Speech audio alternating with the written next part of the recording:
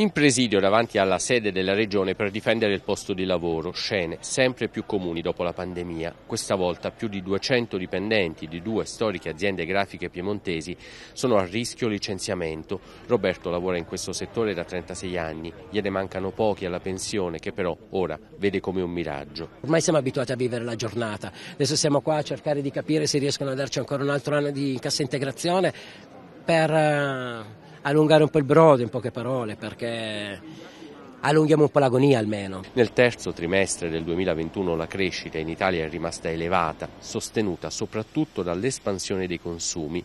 Successivamente ha rallentato a causa di sei fattori ben precisi, scarsità e alti costi delle materie prime, ritardi di approvvigionamento, aumento di costi di produzione, trasporto e logistica, inflazione, spese più prudenti da parte delle famiglie e soprattutto la crisi energetica. Ci sono alcuni settori in cui l'energia è un fattore importante di produzione ed è insostenibile questo, questa crescita dei costi. Eh, purtroppo paghiamo una politica energetica inesistente, ci troviamo anche a competere con degli stati che sono riusciti a trovare degli ammortizzatori verso l'aumento dei costi di energia come la Francia. E vede a rischio altri posti di lavoro?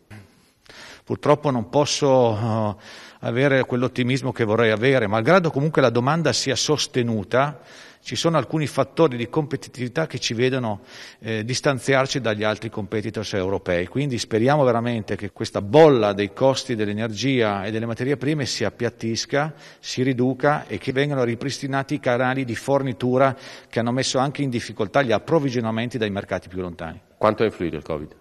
Il Covid ha influito moltissimo sulle modalità di lavoro, speriamo di cogliere gli effetti positivi, sono quelli della spinta verso la digitalizzazione. Massimo Postiglione, Sky TG24, Torino.